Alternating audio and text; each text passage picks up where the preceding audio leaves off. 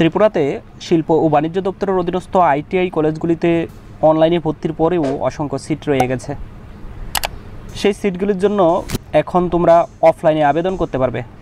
তার জন্য বিভিন্ন কলেজ ডেট দিয়ে দিয়েছে যে কত তারিখ থেকে কত তারিখের মধ্যে তোমরা সেই আবেদন করতে পারবে। তার মধ্যে কৈলাসহরে যে আইটিআই কলেজ আছে, সেই আইটিআই কলেজে তোমরা ভর্তির জন্য আবেদন করতে পারবে সেপ্টেম্বর মাসের আট তারিখ থেকে পনেরো তারিখ পর্যন্ত। তোমরা ট্র্যাড অনুযায়ী যে সিট সংখ্যা, সেই সিট সংখ্যা তোমরা এখানে পেপার কাটিংয়ের মধ্যে তোমরা দেখে নাও। তারপর খুমলুং আইটিআই কলেজে তোমরা আবেদন করতে পারবে সাত তারিখ থেকে পনেরো তারিখ পর্যন্ত। মহিলা আইটিআই কলেজ ইন্দ্রনগরে তোমরা আবেদন করতে পারবে দশ তারিখ, সেপ্টেম্বর মাসের শুধুমাত্র দশ তারিখ। এবং ইন্দ্রনগরে আরেকটি কলেজ আছে, সেই কলেজে তোমরা আবেদন করতে পারবে শুধুমাত্র নয় তারিখে, অর্থাৎ আজকের দিনে।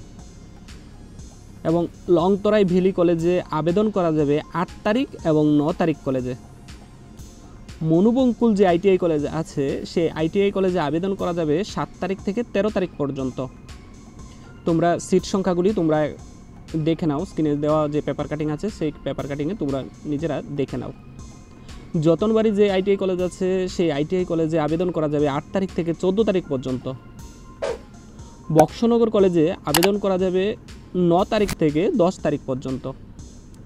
উদয়পুর কলেজে তোমরা আবেদন করতে পারবে, অর্থাৎ আইটিআই উদয়পুর কলেজে আবেদন করতে পারবে আট তারিখ থেকে পনেরো তারিখ পর্যন্ত।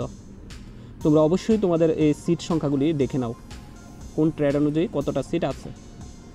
বিশ্রামগঞ্জ যে আইটিআই কলেজ আছে, সেই আইটিআই কলেজে তোমরা আবেদন করতে পারবে ন তারিখ থেকে দশ তারিখ পর্যন্ত।